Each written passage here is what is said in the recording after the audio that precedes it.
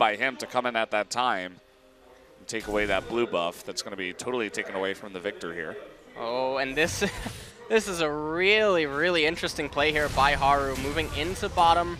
The problem is, is that Rock should be able to suspect this. Oh, the jump on in, and here comes the ultimate from Jhin, Jhin and he gets a three shot here. Down goes Ezreal.